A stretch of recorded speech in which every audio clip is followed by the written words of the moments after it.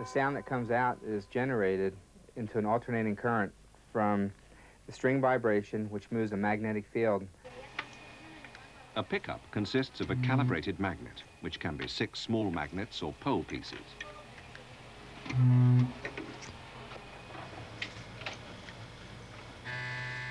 These magnets are then wrapped with insulated copper magnet wire.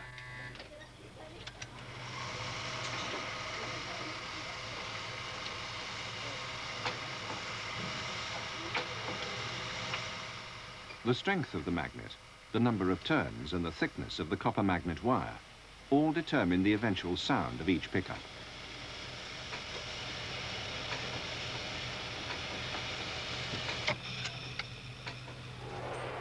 As with most things in the music industry, this thriving business comes from Seymour Duncan's enthusiasm. I started you know, playing guitar when I was about 13, and I had other friends who I, I, thought the guitar was a really neat thing. I saw the Ted Mack show, which was a popular TV show, and a guy was playing the guitar, jumping around. I said, oh, I like playing the guitar.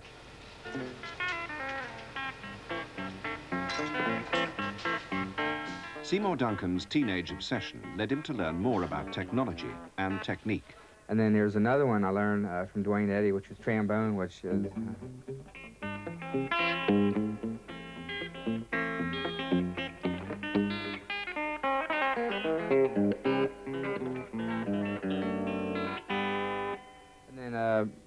between listening a lot to Roy Buchanan, here's another guitar player, Arlen Roth, you know, I've... You know, and with adding Roy Buchanan to it, you could do all the...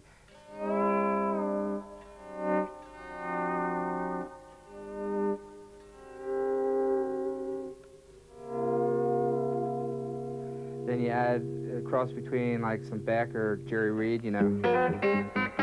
Thank you.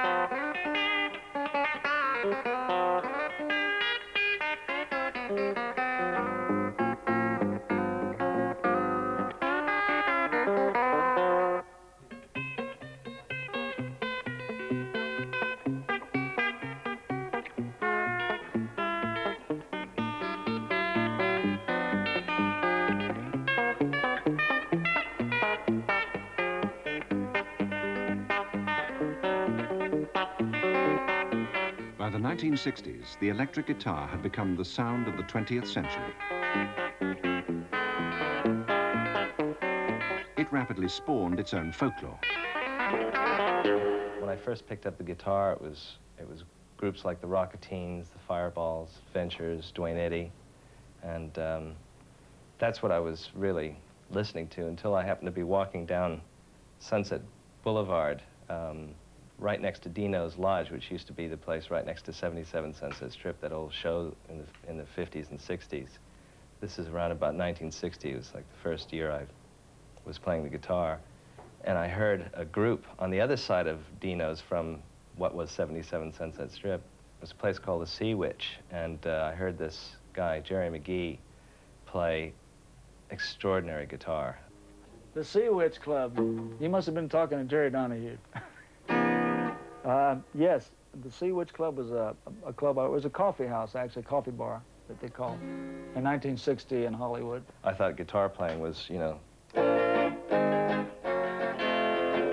know, that type of thing. That's like, and bending, bending strings was out of the question, you know, I had the wound third, you know, the very most you could maybe get a slight bend on the, on the second string for rock and roll type things. I worked there for um, about a year and a half just doing uh, instrumentals because we had no vocalists in the band and it was, uh, we had no microphone. So we would work from uh, 10 o'clock at night to about 4 in the morning doing all blues instrumentals and slow, you know, slow blues, blues, blues shuffles. And um, that's where I met Jerry Donahue. I spoke to him later and he actually gave me a few lessons at my home. My dad uh, asked if he'd be prepared to, so on his way to work at you know, a couple of times a week, he'd stop by the house, which was just, you know, a block away, and show me. And he told me he used uh, black diamond strings and would use two seconds instead of a third because, you know, you weren't able to buy gauges like we, we have now. And uh, he would do all this kind of, you know, like playing uh, with a thumb pick, which I, I can't do, but on the bottom string, um, and snapping strings like that kind of kind of thing too, you know, and bending unbelievable. I started actually playing about 1952 with the guitar. uh, some of my heroes were um, Chet Atkins, of course, like I mentioned before, was one of my uh, first influences because he played with the thumb pick, and I thought that was kind of unusual. And I want you to listen to him now. Here he is playing the Black Mountain Rag, Chet Atkins.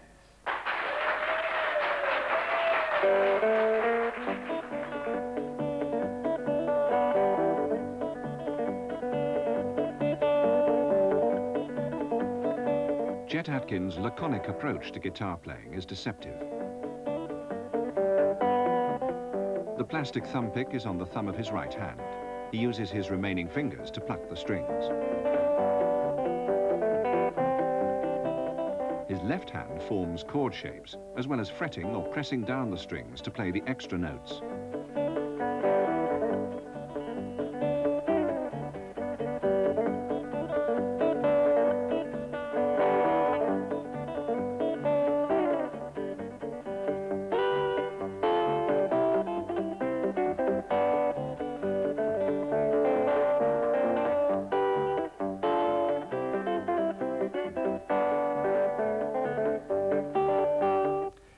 Mainly uh, it is in the right hand. For me, it is anyway. The technique, uh, just using rolling the fingers a lot. I do a lot of that, that kind of stuff. You know.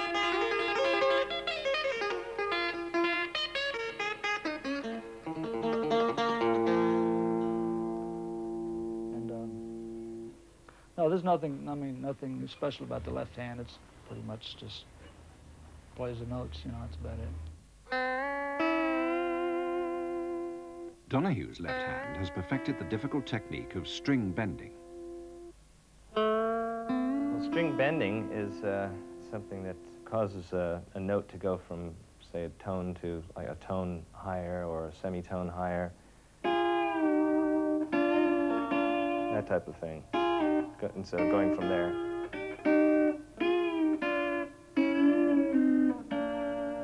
There's one that I discovered, I think it was by accident, where, where I pulled up um, the G string up to, to the B string and, and let, it, let it down again. And I accidentally, as, as I did that, the B string got caught, caught underneath my uh, index finger and came back when I was letting the other one down, you know. So I got that effect, you see. I thought, oh, wow, that's, how did I do that, you know? And I then, you know, worked on, on doing that and then different variations of that. And then bending another one up, too. If this looks easy, it's not. These strings are tensioned at 16 pounds each. To bend one requires strength and sensitivity. To bend three accurately and pitch perfect takes years of practice. behind the nut bends, you know, with harmonics too. Using a couple at a time, you know. You can do a minor third a major third, you know, that type of thing.